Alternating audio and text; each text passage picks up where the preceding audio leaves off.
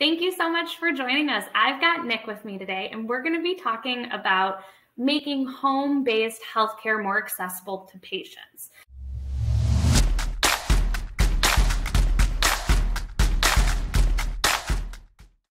But before we dive into the questions that I've got for you, Nick, can you give everyone a quick introduction? Sure. Uh, my name is Nick Myers, and I am the co founder and CEO of RedFox AI based in Madison, Wisconsin.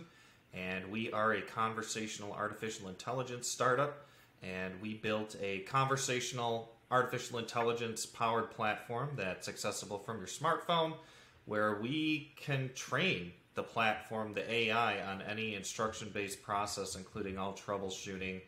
And ultimately, the goal is to leverage this technology to help facilitate at home medical testing, just make the process easier for patients, and at the same time, for the first time, give providers a window into how patients are completing their tests at home, among a few other things that we have on our roadmap as well. Great. Thank you so much for joining me. So, to get us started, I want to talk a little bit about some of the barriers that you've seen that make at home healthcare difficult. Obviously, we've all had to adapt and, and change things, and there's been a lot of advancements made in the last two years, but we still have some gaps. Can you share a little bit about that?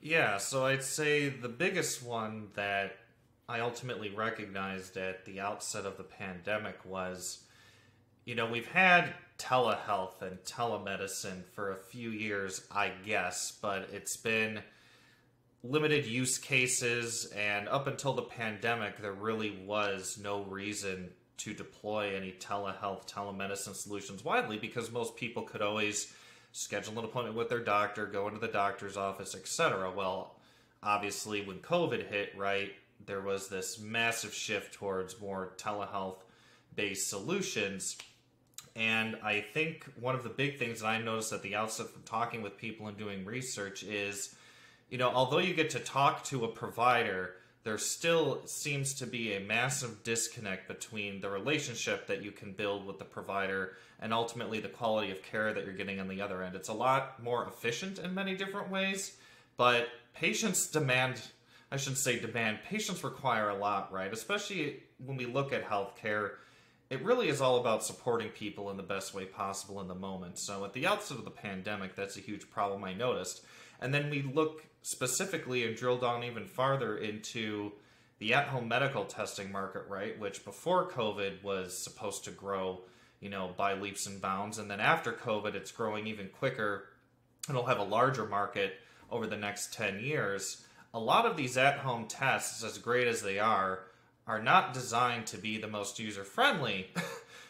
I mean, they a lot of the test providers do the best they can, but at the end of the day, they have to provide an instruction set that has to meet rigorous FDA requirements, and they're not really designed to be the easiest to use for patients, especially patients and people who have never used an at-home medical test before.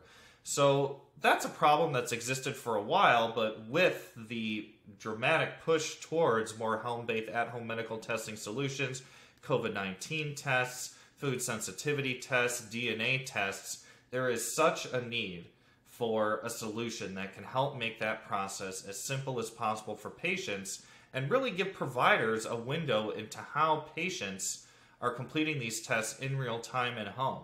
You know, one thing that I've been doing a lot of work in recently and have been learning a lot about over the last several weeks has been something called remote patient monitoring. That is something that we're going to, it's almost going to be required as we move forward because we look at the healthcare system since COVID, right? And there is a labor shortage, and that's only going to continue. So, if we have a limited supply of doctors and nurses, but more people demanding healthcare in the home, we're going to need a way to monitor those people effectively.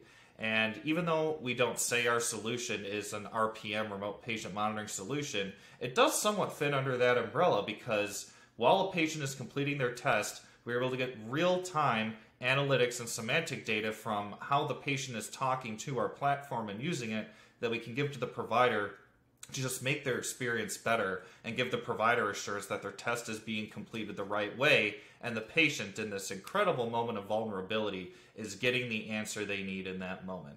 So, those are some of the gaps that I see currently. Well, there's a lot of gaps in healthcare, but specifically with home based healthcare, right? So, can you share a little bit about, you know, you and I had this conversation when we were getting started, a little bit about your personal experience that goes back years and years that kind of led you to recognize that we haven't done much to fix these challenges. So, can you share a little bit of that story as well? Sure. So, you know, to, to kind of make a long story relatively short here. So, I've actually been working in the conversational artificial intelligence space since about 2018 initially started working with Amazon Alexa and Google Assistant tools, which at the time were great, but you know, ultimately as we started growing the company and trying to expand and figure out what we actually want to do with this technology, you know, as I'm sitting at home, right, with a lot of time that a lot of us had right at the outset of COVID, and I'm really trying to think through how we can use this technology to solve a problem to create a positive human outcome for people. I thought about this experience I had as a kid and at the age of eight, I was diagnosed with acute lymphoblastic leukemia, ALL. And I remember having to go to undergo chemotherapy both in the hospital, and of course, a lot of that had to be done at home too, right? And unfortunately, at that young of an age, I just had a really hard time taking oral medication. Uh, whenever I would have to take pills, it was just this hours long process because I would psych myself out, occasionally vomit it just wasn't a good experience for me. Definitely wasn't a good experience for my pay, for my for my parents. So ultimately, my doctors approached my parents and said, "Hey, we realize he's having a really hard time taking oral medication. He has to take the chemotherapy somehow, and the only other option is to give him injections at home." So, of course, my parents maybe get 15 to 20 minutes of training at the hospital on how to give me these massive chemo injections that had to be given at a at a very precise angle into my upper thigh. So, flash forward a few weeks, the chemotherapy finally arrives at our doorstep, and I'll just never forget sitting in our bathroom. And my dad is, you know, putting on PPE. My mom is, you know, staying at at a distance because, you know, they just want to make sure they don't get any chemo on them, right? And then they can give me my treatment.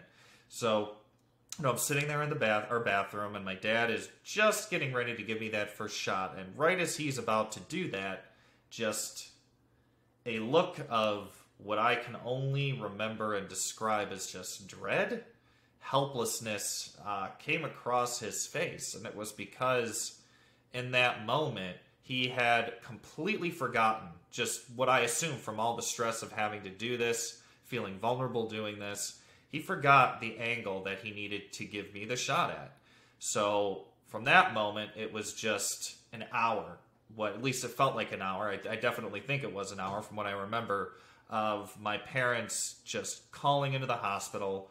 And of course, this is 2002, 2003. So technology just, you know, is still coming to fruition really as we know it today, right? And you can't go to the internet to search for things. So they have to call into the hospital to try and get in touch with my doctors to get this question answered. And for 60 minutes, they were just bounced around from department to depart- department to department.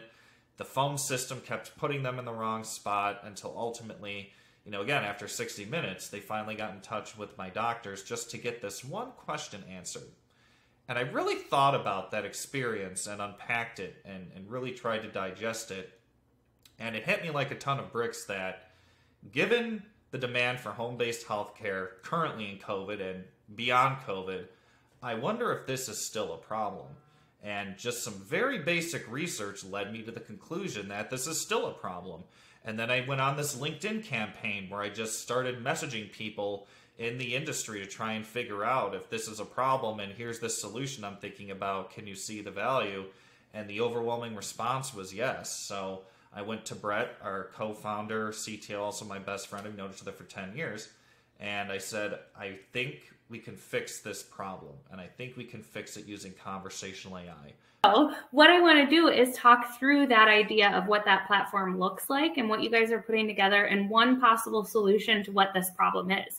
Because you know, we, you and I met at, um, an event where you shared your story, and we were talking about how that led to this product but even beyond your you know your situation some people might be watching this and thinking like oh man you know that's hard but i hope i never have a kid that's you know receiving chemo treatments at home but even with my own experience having a child i had a premature child so the second time i needed to get these large injections. And I was told while I was at the doctor, you're lucky you're around uh, a hospital system where we can bring you in and do this because if you were somewhere more remote, your husband would have to figure out how to do this. And um, not to get too graphic, the needles were so big that he came to one appointment. He couldn't even watch them giving me the shot, let alone do it himself. And then it, you, you extend that to anyone that's going through um, fertility challenges and IVF, and there's tons of at home stuff that has to happen.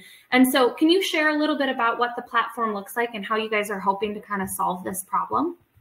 Yeah, so essentially, if you've ever used uh, we don't like to call it a chatbot, but the interface is somewhat similar. If you've ever used a chatbot interface, that's what it looks like. So it's a graphical interface. We can deploy it on any website. So the reason we decided to build the platform for the web to start is to make it as accessible as possible. So imagine you get your at-home medical test kit or you're using, you know, some type of therapeutic or medical device and the first thing that you do, you know, we figured out through a QR code or some something that you have to scan with your phone, QR code more or less.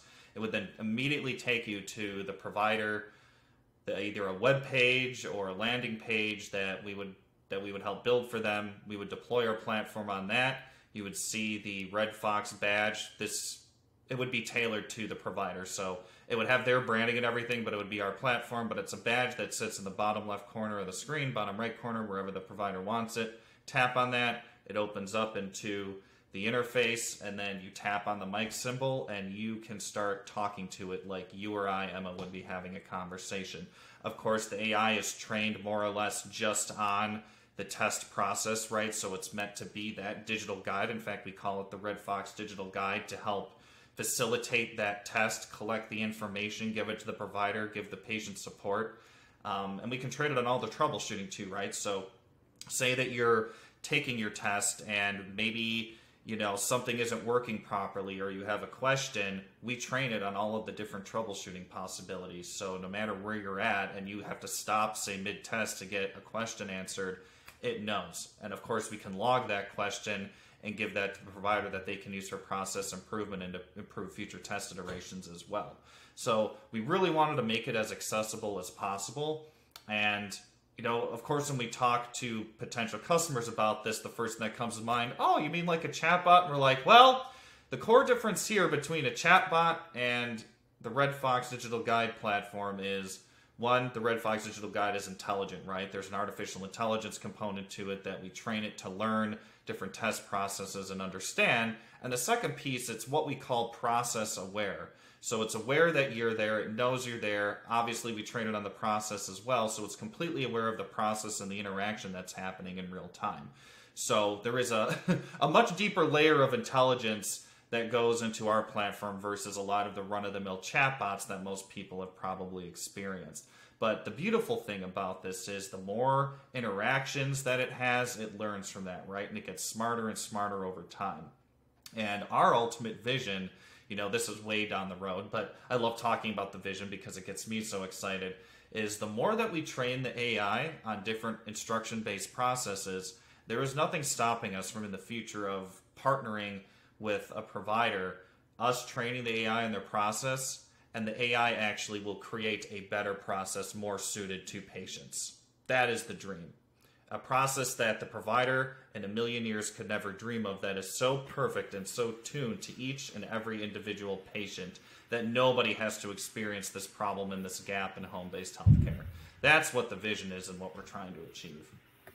Well, thank you so much for joining me and sharing your story, Nick. I think there's lots of people that have probably had similar experiences. And it's great to know that there are people right in our backyard in Madison that are working to try and solve this problem.